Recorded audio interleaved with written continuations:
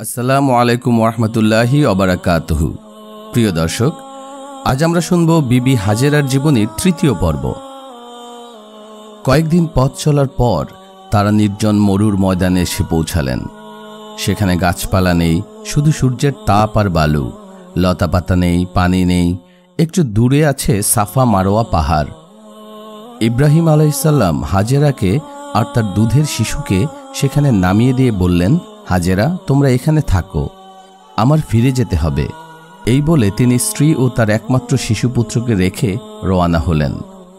বিবি হাজেরা অত্যন্ত ব্যাকুল হয়ে বললেন, ওগো স্বামী, আমাদেরকে এই নির্জন মরুর ময়দানে, যার আশেপাশে মাইলের পর মাইলের মধ্যে কোনো মানুষের সারা শব্দ নেই এখানে একাকী রেখে কোথায় চলে যাচ্ছেন?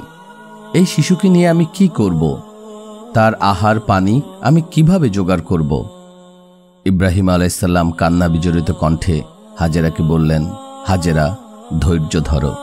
আমি আল্লাহ পাকের আশ্রয়ে তোমাদেরকে রেখে যাচ্ছি।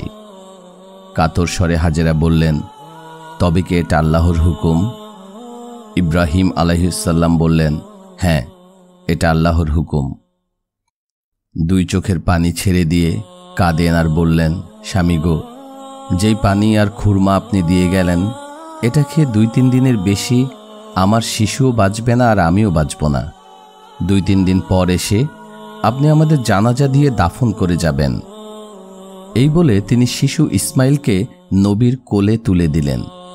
পুত্রকে বুকে জড়িয়ে ধরে ইব্রাহিম আলহিসাল্লাম তার কপালে চুমু দিয়ে চোখের পানি ছেড়ে দিলেন। কি করবেন? আল্লাহর হুকুম। হাজেরার কোলে পুত্রকে তুলে দিলেন। হাজেরা বললেন, স্বামী, বাড়ি গিয়ে বোন সারার কাছে আমার সালাম বলবেন আর আমার জন্য দোয়া করতে বলবেন। আমার ব্যাপারে তার কোনো দোষ নেই। দুনিয়াতে যা কিছু ঘটে, সব আল্লাহর হুকুমেই ঘটে। ইব্রাহিম আলাইসাল্লাম হাজেরার নিকট থেকে অশ্রুসিক্ত নয়নে বিদায় নিয়ে বাড়ির দিকে রওনা হলেন। পথের মধ্যে আবাওয়া নামক স্থানে উটের পিঠ থেকে নেমে আল্লাহ পাকের দরবারে মোনাজাত করে কাঁদতে লাগলেন। হে প্রভু দয়াময়, আমি আমার কলিজার টুকরা পুত্র ইসমাইলকে আর প্রিয়তমা হাজেরাকে তোমারই হেফাজতে রেখে গেলাম। বিবি হাজেরা মরু ময়দানে আল্লাহর উপর ভরসা করেই পড়ে রইলেন। রাত যখন গভীর হয়ে গেল, বিরাট একটা বাঘ এসে বড় বড় আওয়াজ করে হাজেরা ও ইসমাইলের চারিদিকে ঘোরাফেরা করতে লাগল।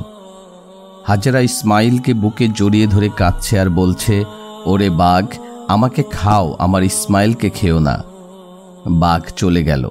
হাজেরা খুরমা আর পানি খেয়ে কয়েকদিন কাটালেন। এখন খুরমা ও পানি শেষ হয়ে গেছে। বুকের দুধ শুকিয়ে গেল, মা ও শিশুর ক্ষুধা পিপাসা চরমে পৌঁছালো। বিবি হাজেরা শিশুকে কোলে তুলে নিয়ে তার নিজের জিহ্বা পুত্রের মুখে দিয়ে লেহন করাতে লাগলেন। পিপাসার তাড়নায় মরুভূমির উত্তাপে দুধের শিশু ছটফট করতে লাগল। ক্ষুধায় কাতর শিশু ইসমাইল যেন কান্নার শক্তিও হারিয়ে ফেলেছে। কণ্ঠস্বর ক্ষীণ হয়ে আসছে। শিশু ইসমাইল জিহবা আর লেহন করছে না। হাজেরা ঘাবড়ে গেলেন, কিসের মা হলাম? কেন এলাম এ দুনিয়ায়? বেদনা তার হৃদয়ে হু হু করে কেঁদে উঠল। প্রিয় দর্শক, যেখানে এখন জমজম কুয়া, সেইখানে ইসমাইলকে শুইয়ে রেখে হাজেরা পানির সন্ধানে দৌড়াদৌড়ি করতে লাগলেন। কিছু দূর যাবার পরে তার মনে হতে লাগল, তিনি এ কি করছেন? তার হৃদয়ের ধন আজ চিরতরে বিদায় হয়ে যাচ্ছে, আর তিনি তাকে ফেলে রেখে যাচ্ছেন? এ কি নিষ্ঠুর ব্যবহার? এই কি মায়ের কাজ? এই কি তার সন্তানের প্রতি ভালোবাসা? তিনি আবার শিশু ইসমাইলের কাছে দৌড়িয়ে গেলেন, কিন্তু বসে থাকলে চলবে না। তিনি পানির সন্ধানে পুনরায় সাফা পাহাড়ের দিকে ছুটলেন। সাফা পাহাড়ের উপরে উঠে এদিকে তাকান, সেদিকে তাকান, আবার বাচ্চার দিকেও তাকান। বাচ্চা ক্ষুধার তাড়নায় মরে গেছে না বেঁচে আছে? চারিদিকে পানির তালাশ করতে লাগলেন, কোথাও পানির লেশ মাত্র দেখতে পেলেন না। সেখান থেকে নেমে এসে আবার মারোয়া পাহাড়ের দিকে দৌড়াতে লাগলেন। মারোয়া পাহাড়ে উঠে চারিদিকে পানি তালাশ করতে লাগলেন। কোথাও এক বিন্দু পানির সন্ধান মিলল না। উভয় পাহাড়ের মাঝখানের এলাকা একটু নিচু ছিল। যতক্ষণ মরুভূমিতে দৌড়াতেন, ততক্ষণ চাতক পাখির মতো ওই কলিজার টুকরো শিশু ইসমাইলের দিকে তাকাতেন। কিন্তু ঢালু জায়গায় নামলে আর শিশুকে দেখা যেত না। তাই তিনি ওইখানে গিয়ে জোরে দৌড়ে অতিক্রম করতেন। আবার বাচ্চার নিকট গিয়ে দেখতেন বাচ্চার রুহ আছে কিনা? ক্ষুধা তৃষায় শিশু ইসমাইলের চেহারা বিবর্ণ হয়ে গেছে। এখন আর কাঁদতেও পারছেন না। হাজেরা চিৎকার করে শিশুকে বুকে তুলে দেখেন, শুধু বুকটা ধুকধুক ধুকধুক করছে। হাজেরা থরথর করে কাঁপতে লাগলেন। দু চোখ অন্ধকার হয়ে এলো। হায়, তাহলে কি আমার বুকের মানিক শেষ হয়ে গেল নাকি? না না, আমি এই দৃশ্য সইতে পারব না। হাজারা আবার তাকে শুইয়ে রেখে অতি কষ্টে পাহাড়ের দিকে দৌড় দিলেন। এক পাহাড় হতে অন্য পাহাড়ে সাতবার দৌড়িয়ে মারোয়া পাহাড়ে উঠে চারদিকে তাকান। কোথাও হতে কোনো সাহায্য আসে কিনা? হঠাৎ শুনতে পেলেন মেঘের ডাকের মতো গুরুম গুরুম আওয়াজ। হাজার আকাশের দিকে হাত তুলে ডাক দিলেন, হে আল্লাহ, যদি কোনো সাহায্য দিতে হয়, এখনই দাও। আমার কলেজার টুকরো সন্তান মারা গেলে আমি আর তোমার কোনো সাহায্য নেব না। সন্তানের মায়ায় উন্মাদিনীর মতো চিৎকার করে রোদন করছেন, শুষ্ক গলায় কাঁদতেও পারেন না। হাজেরার এই করুণ দৃশ্য দেখে আল্লাহ পাক বলেন, হে জিব্রাইল, এই করুণ দৃশ্য আর দেখতে পারি না। মা তার সন্তানের জন্য এভাবে দৌড়াচ্ছে, আমার রহমত দরিয়ায় জোশ মেরেছে, চলে যাও। ইসমাইলের পায়ের আঘাতের জায়গায় তুমিও আঘাত দিয়ে পানি বের করে দাও। বিবি হাজেরা সাফা ও মারোয়া পাহাড়ে সাতবার দৌড়িয়েছিলেন। এই দৌড়ানো আল্লাহ পাকের নিকট এত পছন্দ হয়েছে যে কেয়ামত পর্যন্ত সমস্ত হাজিদের জন্য সেই স্থানে সাতবার দৌড়ানোকে এই বাধ্যতে পরিণত করেছেন, ওয়াজিব করে দেয়া হয়েছে। আজ লক্ষ লক্ষ মুসলমান সাফা মারোয়া পাহাড়ে দৌড়াচ্ছে। আল্লাহ পাক তার বান্দির আমল কবুল করেছেন। আল্লাহ পাক বলেছেন, হে হাজিরা যে জায়গায় আমার হাজেরা দৌড় দিয়েছিল, তোমরা ওই জায়গায় একটু দৌড় না দিলে আমি তোমাদের হজ কবুল করব না। হাজেরা আসমানের দিকে হাত তুলে ডাকলেন, ওগো ফেরেশতারা, আমার বুকের মানিক কলিজার টুকরা শিশুর প্রাণ থাকতে যদি সাহায্য করো, তবে এগিয়ে আসো। আমার শিশুর প্রাণ চলে গেলে আমি আর তোমাদের সাহায্য নেব না। চল্লিশ মাইলের মধ্যে মানুষের কোনো সারা শব্দ নেই। জিব্রাইল আলাইসাল্লাম শিশু ইসমাইলের পায়ের নিকটে এসে মাটিতে আঘাত করার সাথে সাথে পানির ফোয়ারা উতলে উঠল। হাজেরা দৌড়ে গিয়ে পাথরের টুকরা এনে বাঁধ দিতে লাগলেন আর বললেন, জাম জাম অর্থ থাম থাম। এখান থেকে এই কুয়ার নাম হয়েছে আবে জামজাম। হাজরা ইসমাইলকে পানি পান করালেন, নিজেও পান করলেন। জিব্রাইল আলাইসাল্লাম কিছু খেজুর দিয়ে বললেন এই খেজুর আপনারা খান।